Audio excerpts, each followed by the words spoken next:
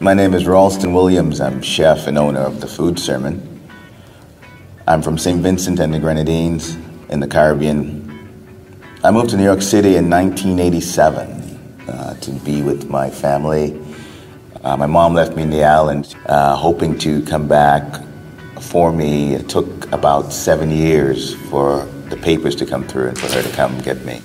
A little under three years, my dad, who I just met, was murdered, uh, leaving my brothers, um, my mom, and myself to figure things out. The food sermon came about. I had a client that needed some catering done, probably one of the biggest I've done.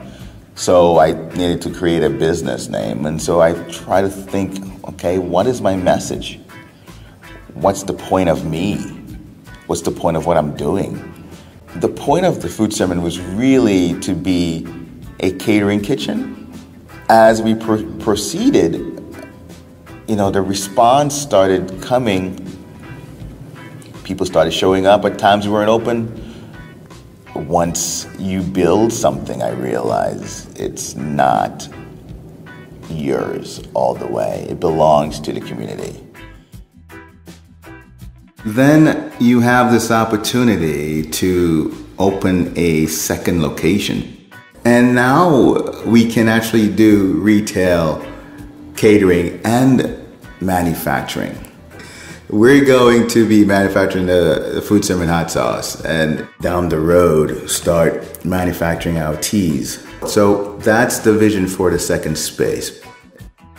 So my story in many ways is applicable to anyone who has immigrated to the United States. You come here with an expectation and ultimately it's not quite what you expected. But you adjust, you work hard, many times working with the feeling that it may or may not work out. What we do have, though, is this faith that there will be a way. Sometimes what we do is we often dream based on our circumstance. And I do not subscribe to that.